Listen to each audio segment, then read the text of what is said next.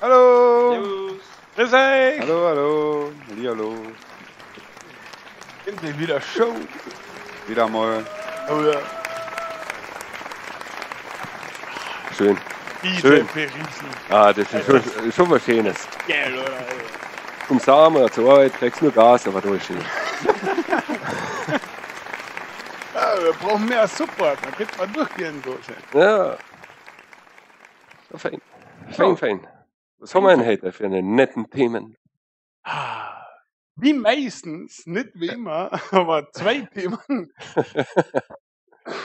ähm, ein bisschen Horror mit äh, Don't Be Afraid und ein geilen Genre-Mix aus so ziemlich allen, das kann ich jetzt nicht aufteilen, man sieht zwar morgen noch da, äh, nennt sich Drake Hollow. Kann das funktionieren? Oh, wie das funktioniert. Ja, nun gut. Aber starten wir mal mit Don't Be Afraid. Oh yes. Mhm. Schau mal. Sagen wir mal einen Trailer, damit ihr weiß, um was geht. Genau. okay. You can call me Mr. Franklin, okay?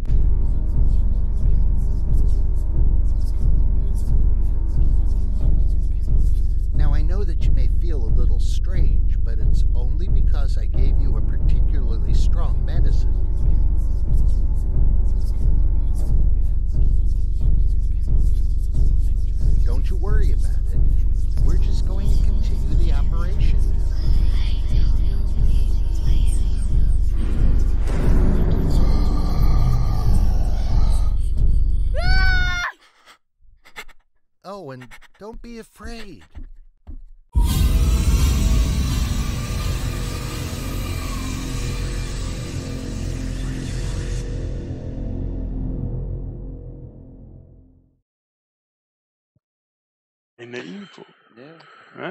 Puh. So, okay. Das war ja ziemlich Ja. Ein, Erschreckend. ein erschreckend. erschreckend PS2-Grafik. äh, Ähm, ja, so ist es in-game nicht. Haben wir eh ja gerade eben diskutiert. Ähm, die zeigen da die Grafik so, wie es im Spiel anfängt. Du wirst entführt, du bist ein kleines Kind und du bist in einer Puppenkiste. Und blickst dort natürlich aus einer Folie aus. Mhm. Und so haben sie das Spiel jetzt gezeigt. In-game schaut das dann äh, anders aus. Also wesentlich besser, nicht geil, aber besser. Also zumindest scharf. Okay. Sagen wir so. Also nicht so Also- wie VR hier sind, so wie das ist VR-Qualität. Also, Na. Na. Ja. okay. Äh, Also dieser Riesel, also das ist dieser Rieseleffekt, nur weil sie durch die. Genau, also du hast da im, im Trailer siehst quasi den On-Transport Mhm. vom, vom David, ne? Den verkörperst du im Spiel. Und dann, ja, ich weiß nicht, nach fünf oder zehn Minuten kommst du aus der Puppenkiste raus und dann fängt es eigentlich an und dann wird das Bild scharf. Also du siehst den Entführer nicht, obwohl Mhm. er vor dir kniet und die bedroht und und und und und ja, dann wird's schön. Optisch schön. Schöner. Schön, ja. Schöner. Schön. Was Okay. kann das Kind so? Also, was kann das Ja, Kind? was kann ein Kind nix? Ne? Ich meine, das ist elf Jahre alt. Keine Waffen oder was? Keine Bazooka, Waffen. Äh, keine Bazooka, kein Worms. Äh, Oder Postal. ja. Granaten auch nicht. Na, Alter, keine, ist ja Kind. auch keine Mieterkotzen auf der Schrotflinten. So. Eieieiei. Das Okay. ist ja schlecht. Na, na, Okay. Ja, es hat eine beklemmende Atmosphäre, echt eine düstere Atmosphäre. Du hast, wie soll ich sagen, die Kamera ist niedriger als in einem gewöhnlichen First-Person-Spiel, Shooter oder, oder was auch immer. Ja, das Kind eben. Weil es kleiner Kind ist. eben Mhm. und es wirkt alles so groß und alles so unglaublich äh, bedrohlich. Alles, was du anschaust, du bist einfach nur überfordert und du wirst einfach nur flüchten. und was kannst du jetzt da so dabei tun? Einfach nur so verstecken, flüchten oder wie? Oder kannst du irgendwas machen am Anfang jetzt oder Ja, am Anfang Ist- eigentlich nicht. Dein Führer spricht eben mit dir Ja. in deiner Box dort und geht dann seine Axt holen ins Obergeschoss. Du erst ihn dann oben umtrampeln und was er mit dir halt alles machen wird. Mhm. Ist das auf Deutsch auch? Also deutsche Aussprache? Noch nicht. Deutsche Sprache. Untertitel? Ne, Untertitel haben wir Deutsche, man ist halt ein Indie, nur äh, englische Sprache. Mal, noch. zu 99,9% sicher, das wird so bleiben. Haben wir für die Franzosen auch Französisch dabei? Ja, No, ja. Belgisch war. Warum was? Belgisch? What the fuck? Ja, ist ja gleich. Oder ähnlich. Ja, was musst du Ja, ja, stimmt, machen? Aus dem ja. entfliehen, oder wie? Das Ziel ist es, äh, den kleinen David halt zu retten, einfach zu entkommen. Mhm. Du fängst dann um äh, zu rätseln an, findest Schlüssel, löst kleinere Puzzles. Ist ein großer Keller, oder? Oh ja. Und irgendwann kommst du dann drauf, weil, wie soll ich sagen, weil die Lösung nicht gleich verstehst, wo er hin will. Fängst halt ganz genau schauen an, dann siehst du, da sind eigentlich überall Kameras montiert. Mhm. Also, ob es dann unterm Strich überhaupt ein Kommen geben will, weiß ich nicht, aber wage ich zu bezweifeln, wenn er von oben irgendwie permanent deine Schritte beobachtet. Okay. Ja. Also ist es jetzt noch eigentlich mehr so ein Walking Simulator, oder? So ohne Action einfach. Mm, ja, Walking, Ne, man, so, sowas klingt immer ein bisschen abwertend, aber na, es ist eigentlich ein, ein Adventure. ein So, im, so, im, okay. in seinem Inneren. Es geht schon darum, äh, Rätsel, Puzzles zu lösen. Mhm. Und es besticht einfach durch seine Atmosphäre. Du hast nicht so diese typischen Jumpscares drin, Ah, okay. Ist schon mal gut. sondern echt so, so, es wird durch den Kopf aufgebaut. Das ist quasi was, was du dir vorstellst, weil Mhm. du äh, ihm oben immer hörst und er seine, so, vielleicht kann ich sagen, gibt ja eine Demo, kann, ja jeder spielen. Ähm, er ist ein bisschen puppenaffin, der Entführer. Überall im, im Keller sind so äh, Puppen ausgestellt und, und Sind das dann deine Gegner, oder wie? Oder gibt's da Gegner oder, oder so auf der Art? Oder Gegner, wie du sterben kannst oder das Spiel aus ist, oder wie? Wohl gibt schon, das war dann äh, ganz zum Schluss ähm, von der Demo. Da ist also eine Art Dämon dann aufgetaucht. Und du bist ähm, definitiv nicht das erste Kind oder der erste Mensch, Was dem was er entführt hat. Weil, wie du schon gesagt hast, der Keller ist echt groß. Und desto weiter du vordringst, dann siehst du eigentlich erst, äh, was das für ein Mensch ist. Du findest da so Notizen von ihm und Mhm. entstellte Leichen und was er da eigentlich so den ganzen Tag unten macht. Außer Kinder schenken und Menschen töten. Immer ganz normal. Also. Ty- Typischer Dienstag. ja. ja, naja, ist das also ein okay. bisschen auf Schocker, horrormäßig aufgebaut, oder?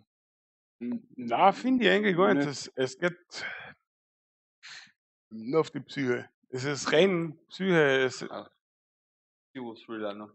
ja, also nicht so ein, äh, das ist ja ein Jumpscare, so wie was ich beim alten Doom oder was, wo die, wo der Viech anruft, das hat's nicht. Das, das arbeitet einfach in dir. Einfach weil du immer wieder de- das Kind hörst und immer umhörst, das, das arbeitet innerlich. Das ist ganz eine komische Atmosphäre. Ist, Aber gut, sagst du. aber gut. Schlimm, aber gut. Weil du hast ja schon mehrere so eine Spiele gespielt, ne? So im Horror äh, Simulator Genre, sag ich mal, Walking Simulator Horror Genre. Ranking Simulator. ja, zum Beispiel. Und trotzdem, also kannst dich abheben. Wohl hebt sie ab. Hebt sie. Hebt, hebt Okay. definitiv ab äh, von dem Genreplay wie Amnesia und was es Mhm. alles gibt. Hat ganz einen anderen Ansatz. Okay. Ja, gut. Das ist immer fein so. Ja, aber jetzt, du, sag mal, jetzt, du fängst das Spiel an und so. Das dauert halt noch, keine Ahnung, was sind 30, 40 Stunden. Kannst du inzwischen sterben oder aufhören oder irgendwie ja oder oder ist das, weil du sagst, es gibt eigentlich so keine Gegner und so. Oder wärst du gefasst vom Entführer oder wie? Musst du in den Entführer entgehen oder Ja, auch. Äh, meine, es war nur das erste Kapitel spielbar, noch Ja. quasi so ein längerer Prolog. ja, bist du eigentlich, da war nie ein Ende oder was? Also, Jawohl, das Ende war ja dann, Ende, Ende äh, schon noch, wo aber, eben dieses Monster auftaucht, das erste richtige Monster, vorher aber, kämpfst, äh, unter Anführungszeichen. aber gestorben bist du vorher nie eigentlich. Ja, aber das du- war's dann nicht. kannst du sterben. Ja, Warst, du nicht so viel spoilern, weil es ist da. Na, du, weil es sind nicht Gegner im eigentlichen Sinne. Es geht, äh, dann kommen wieder die Puppen ins Spiel. Das hängt alles ab äh, zusammen mit seinen ja, aber man kann sterben oder halt, man, Oh ja, dieses Spiel oh ja. ist es aus noch. Na, du hast Save Points, also du stirbst. Ja, ja, meine, du hast schon Save Points, du musst dann nicht äh, neu anfangen, aber du kannst definitiv sterben. Das habe ich gemeint, ja. Boah, ja. Der eine Ja. sowas, der andere nicht, no, ich weiß nicht. Ah, wohl, bin ich sehr gespannt. Bin ich echt sehr gespannt auf die Vollversion. Wo, wo das dann hingeht. Ob sie die Atmosphäre halten können, was sie im Prolog aufbauen. Ja, Oh. ho hoffentlich ist nicht enttäuscht, ne? Ja, da werden wir aber wahrscheinlich noch einen Test machen. Oh müssen. ja, wenn wir. Scheiße. ja, dann Ja, aber dann können wir wenigstens ein bisschen mehr mitreden, weil wir können ja die Vorgeschichte schon ein bisschen. ne? Ja. Na, also nichts pädophil und Spaß dabei. ja, noch gut. Äh, ich weiß, mehr als wie genug. Das für die Demo noch. Passt. Ja. Äh, ja, zweites Thema, Drake Hollow. Wo soll ich da anfangen? Ich liebe es. Ich liebe dieses geniale Spiel. Ja, sieht man am Text noch, der ist gewaltig. Ne? Ja, der ist gewaltig. Das ist so am, am Zeitgeist. Niemand kennt es. Das ist einfach nur schade. Deshalb werden wir es jetzt supporten. Dann Ja, sag einmal einen Trailer ne? und dann können wir weiterreden. Hm?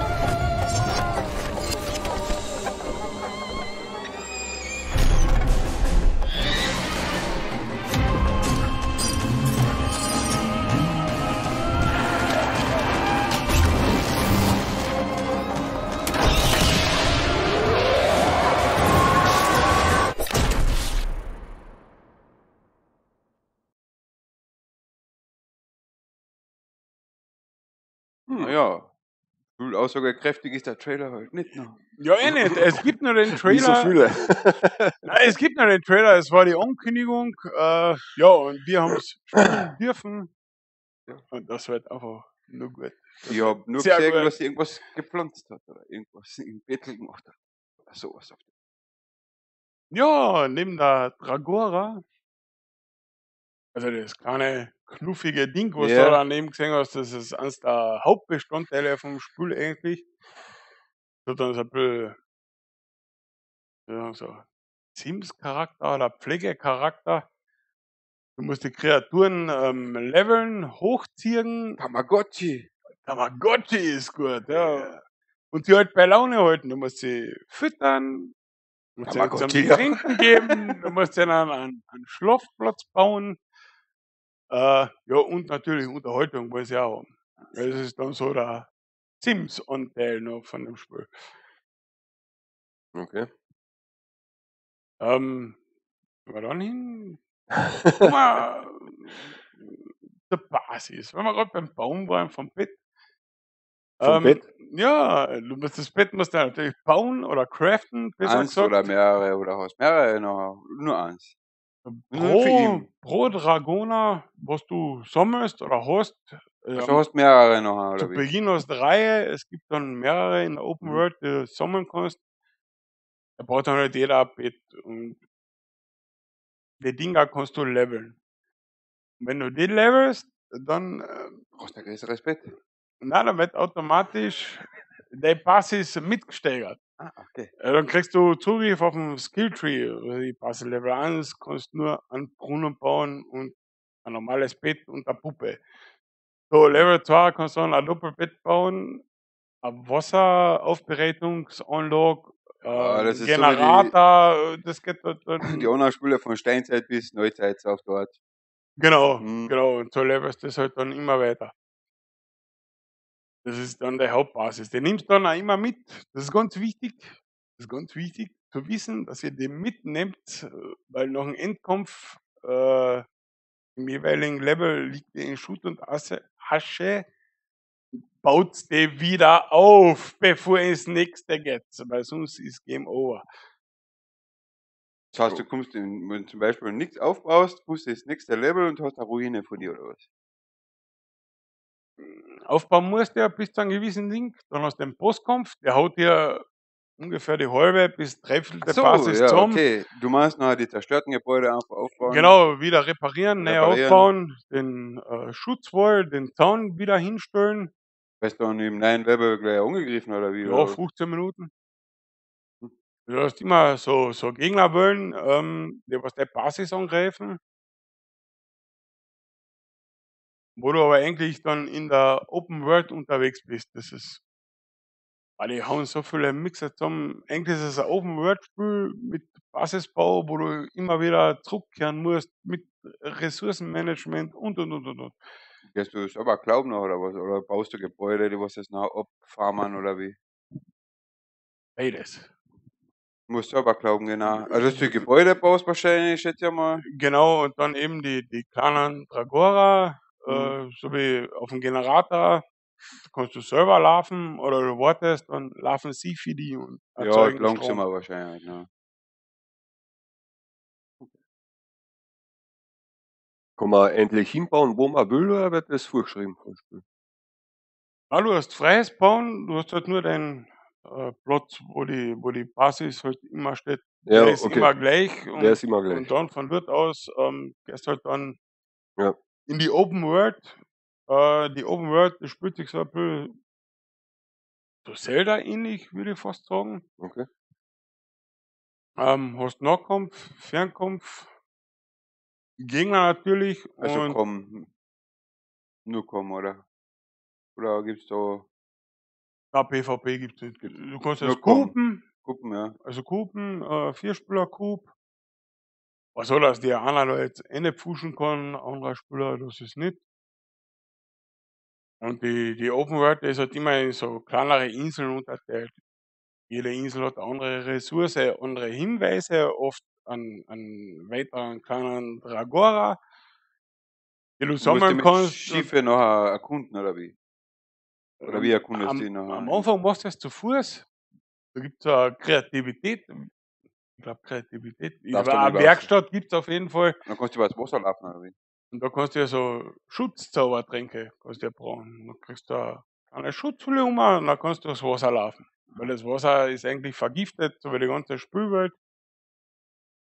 Und ja, deshalb kannst du dann eben dort durchgehen. Heiltränke musst du mithaben und Portalsteiner, weil du eben nie weißt, wann die nächste Angriffswelle auf der durchkommt. Okay, kannst du Ist gleich zu also, teleportieren. gibt's so wellenmäßig, oder ist es? Ist es noch wellenmäßig wahrscheinlich? Es ist so wellmäßig. Es wird je weiter der Charakter, also der levelt, auch, da Ja. kommt dann das RPG wieder rein, der, der levelt so fröhlich vor sich hin und die Gegner werden halt immer schwerer. Ne? Und ähm, ja, für die, für die schnelle Reise oder für die Ressourcen kannst du dann auch Wegpunkte In die Spülbepflanzen kostet auch wieder Ressourcen. So, so Ort, Portale bauen, so Ort. Oder Nein, es ist eher so wie ein Schienensystem. nicht? So, so wie ein Bahn. Also du baust einen Wegpunkt. Der Wegpunkt gibt dann zu deiner Basis, der macht so Art einen, einen Laser. Das ist also ein bisschen so bei Ratchet und Clank, dass dann einfach über diese Laser Mhm. kannst du dann eben schnell vor und hinfahren. So eine Rampe, so quasi. Dahin sliden. Mhm. Mhm. Genau. Ja, aber sieht man ja im Trailer, oder? Das sieht man sogar, wie er auf dieser Schiene da oben fährt. Genau, also das ist aber dann, äh, die Wegpunkte ist ja schon relativ endgame pro Map. Äh, Mhm. Mhm. Irgendwas wollte ich. Was wollt ihr noch? Verschiedene Klassen gibt's auch? Oder hat jeder endlich diese Möglichkeit? Es ist offen.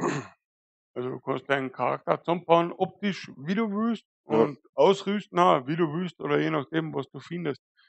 Du Okay. kannst dir dann natürlich theoretisch absprechen, wenn du jetzt im Coup spielst, ja, du machst Fernkampf, der andere macht Nahkampf, der geht Mhm. Ja. ein bisschen blocken. Okay. Aber also grundsätzlich ist es offen. Storymäßig gibt's da was? Ja, wir müssen mal die kleinen Dragora-Viecher retten. Äh, anfangen dazu, dass ähm, sie oder er, je nachdem, wie du deinen Charakter halt zusammenbaust, ist dann Mhm. eine Anfangssequenz, die wird vom Freund verlassen, diese schwarze Krähe taucht auf, die was man eh im Trailer sieht. Und Der bietet dir eine Option. Und dann reist du eben mit ihm in diese äh, Welt und musst die kleinen Dragora retten, die was einfach nichts mehr zum Essen finden, die was keinen Lebensraum mehr haben, weil sie halt unterdrückt werden noch oder gerade vernichtet werden. noch. Das sollst du eben verhindern. Mhm. Hm. Ja, also storymäßig nicht wirklich viel was noch. Muss ja auch nicht sein. Das ist Äh, ich da äh, pff, ignoriere sie. Das, Gameplay, das funktioniert einfach. Ich weiß, das kann man irgendwie so schwer rüberbringen, aber es, das ist einfach. Es ist einfach ein Open World Survival Game. Sagt, eh, ja, sagt ja, er. nicht. Äh, es ist dann auch äh, Zelda drin, es ist Rust drin, obwohl das gar nicht zusammenpasst. Du hast dann Sims, du hast dann Strategie, du hast dann ein Rollenspiel. Mhm. Echt, äh, Wenn du jetzt die Viecher da hernimmst, Tone musst auch Viecher ziehen, aus da der Basis, aus da deine Wöllen. ja, aber es spielt sich absolut nicht wie, wie Conan. Ja, das ist mir schon klar. Ja. Na, äh, na, nur in, Aber- damit die Leute das nicht im falschen Kontext. Ja. Es hat schon äh, Nuancen, aber es ist trotzdem komplett ganz was anderes. Weil Conan hat ja keine Story. Nicht ein bisschen noch. Hat, Ja, bis es dauert ja, das ja auch noch. Die, die, die Krähe, mit der kannst du wohl immer wieder quatschen, die gibt dir Mhm. Quests und also ja, Hintergrundinfos noch, aber freilich so einen großen Aufhänger wie jetzt bei einem, einem, einem reinen AAA-Titel, das hast du natürlich nicht. ja, und das Ziel ist eigentlich, hochzukommen, bis ins Letzte wahrscheinlich. Dann deine Genau, Dragoner Das, hochzustützen. das, das erkennen, die, erkennen die im Spiel irgendwas oder die, deine Dragoner? Haben die irgendeine Fähigkeit oder sind die einfach nur als Ziel da? Nein, das sind nicht nur Ziel. Also von dem auch abgesehen, dass sie die Basis am Laufen halten, wenn du nicht drin bist. Sind Ähm, das so Art deine Arbeiter nachher oder wie? so in der Richtung, ja. Das sind eigentlich so wie kleine Siedler oder so. Und ähm, wenn du mit denen redest, es hat jede Dragora hat eigene Fähigkeit, die kannst du dann auf den Charakter so, quasi aufbeamen. Ja, zunutze machen. Genau, du der eine hat mehr Elektroschaden, ja, der andere hat mehr, äh, wenn du jetzt farmen gehst, mehr, also mehr mehr Beute, mehr, wie So sagst du das- das? Mehr Loot? Ja, Ja, mehr Holz oder so, was wenn du Okay, okay, Farm ja. gehst, normal kriegst drei, wenn du den Buff drin hast, kriegst du Zähne. sie, acht oder Mhm. Zähne. Mhm. Du kannst es dann eigentlich im Cube recht äh, fein aufteilen. Das Einzige, was halt mir auffällt, ist im, im Solo, es ist relativ schwierig. Das ist, ist ja auch noch nicht fertig, es ist noch nicht richtig angepasst. Ähm, die Kämpfe sind, sind hart. Gegen, komm. Ja, das sind Ja, richtig und, schwer, vor ähm, allem, weil einfach die Munition ausgeht. Der Fernkampf ist momentan Ja, absolute Prio. Produzierst du zum Beispiel, aber man sagt jetzt Fernkampf, musst du noch selber Pfeile produzieren oder wie? Mm, Kannst du theoretisch, aber du brauchst die Ressourcen und die sind halt knapp. Die am Pfeil, ich meine, an Ost hast du überall von Ja. jedem Baum, aber du brauchst die Spitzen. Die Spitzen, Das heißt, wenn du die keine Spitzen hast, kannst du aber nicht herstellen. Die musst looten gehen. Das heißt, du musst dann wieder in den Kampf reingehen. also, Also- wenn nichts hast, hast du keinen Fernkämpfer oder wie? Oder ist schon? Ja, du kannst dann zum Beispiel wechseln. Du musst dann in Pfeil und Bogen spielen. Achso, da muss ich mir einen Nahkampf schicken. Ne? Ja, du hast zum Beispiel äh, Wasserball. So, Kanonen. äh, was unendlich noch ist. Oder Irgendwas äh, Schwaches wahrscheinlich. Oder ist je nachdem, was du findest. Du brauchst halt für jede Waffen brauchst ein anderes Material, damit du die Munition erzeugen kannst. Es gibt auch noch Bomben, Fallen und und und und und. Weil du musst halt farmen gehen. Deshalb ist halt äh, vier Spieler, äh, ich glaube, äh, zu zweit ist es glaube ich auch noch richtig tricky. Zu dritt, zu viert, ich glaube, ist das sehr geil spielbar. Du sagst, einer geht farmen, der eine tut kämpfen gehen oder gehen kämpfen, einer fern, einer Nahkampf. Der andere holt halt die Base am Laufen, dann, dann passt das eigentlich ziemlich gut. Kannst du auch noch, wenn du weißt, du sagst, ich weiß nicht, wie viele Spieler geht das? Äh, zu viert, Zu viert? Kannst du noch 4 gegen 4 machen? Nö. Geht nicht. nö. Also das ist rein, rein Coup. Also das geht nur 4, also 4 für einen gegen. Genau. Hm, Zu viert gegen die böse KI. Gegen Genau. die Unbändigen. so. 4 gegen 4 geht nicht. Hm. Ist ja kaum Worms.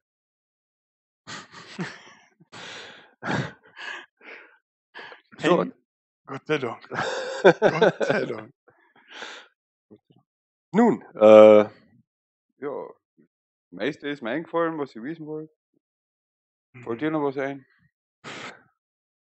So, äh, was nicht, also mir spricht der Titel überhaupt nicht an, hey, keine Ahnung. Äh, Ja, ich finde find das schon interessant. Ist, ist Ja, das die gleiche nicht, Prämisse wie bei Grounded, was du vorher lobend erlebt, erwähnt hast bei Expo Show? Ist Ja. ganz das gleiche. Und Portal Knights noch, was wir allein schon geguckt Ja, haben. den Sandbox, ja. Also wer in die Richtung macht eine Wunschliste. Ja. ja, und in was für ein Entwicklungsstatus ist das jetzt un ungefähr? Wann kann man damit rechnen, dass das Es kommt Fertig wird? noch 2020. Es ist komplett Mhm. bugfrei. Das Also, ist ich jetzt im nicht Early an- Access oder wie? Nein, es, Nee, na, es, es war ein Preview für Also, äh, uns. Wir haben einen Einblick gekriegt. Das gibt es eigentlich noch nicht. Habe gefragt, wie viele Biome und so weiter es noch geben wird oder Level darf, will oder kann er noch nicht sagen. Äh, Mhm. Ich, ich, wenn ich raten müsste, würde ich sagen vier, weil er sich ein bisschen an die, an die Jahreszeiten anlegt. ein Winterlevel. Oh ja. Verdammt, ja. es wird interessant. Scheiße. Da. Ja, das ist halt zuhören jetzt. Die Eisprinzessin. Ne? ja. ja. Mit dem Rudi. Was ist der Rudi? Mit der Kassen von der Eiskönigin. Olaf. Olaf, nicht Rudi. Falscher. Rudi. ja, ja. Der war Rudi aus der, der von äh, Santa. Ja, Stimmt. äh, ist ja Rudolf. Der Rudolf. Ja, Rudi, no. Ja, der Rudi in Kärnten, da, Madonna. Mit dem Punti in der Hand. Das kann. Mit dem Bund in der unbedingt. ne. Nein, der Ähm, Olaf. Der Olaf, ja. Oh, ja, stimmt. Nun, äh, Ja, sonst, endlich, weiß ich nicht, ne? Das Übel. Wichtigste habe ich geredet. ich würde sagen, das ist einmal ein Blickrisk wert. Das wird Wird, wird definitiv auf der LAN gespielt werden. Das, Was wird das? ich jetzt schon. Äh, wird das auch voll? Naja, Vollpreistitel wird sicher nicht, aber warst du schon. 50 Euro. Fu- Ja, 50 Ja, Euro. für ist voll okay. Level 50 Euro. Ja, hat der alle, hat der vier. Ja, der hat Sonne. Herbst und Sonne. Frühling. Das waren bei mir 40. Äh, Nein, kostet 50. Da gibt es ja fünfte. Da.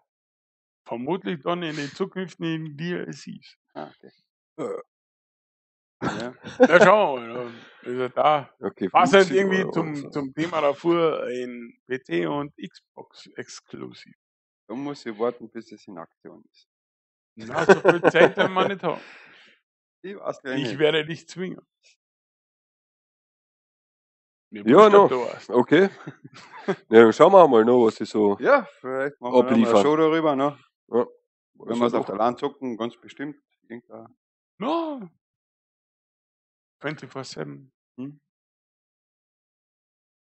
Okay, Hm? Obmod. Obmod? ja, Leute, äh, schreibt in die Kommentare, was ihr von den Spielen haltet. Da, äh, was war- Fragen. Ja, ähm, Hey, Fragen, lest die Preview. ja, auf unserer Homepage äh, steht unten. Das ist richtig. ja, äh, ja äh, teilt das Video, like das Video, äh, abonniert, äh, ja, abonnieren, hab, hab Oh. ich gesagt, was nicht. Drückt die Ah. Glocke oder aktiviert die Glocke, Nicht die Klingel. nicht die Klingel. Ja, das war's. Nur haben wir alles geschafft. Over and out. Over and out. Ja. Ja. Oh.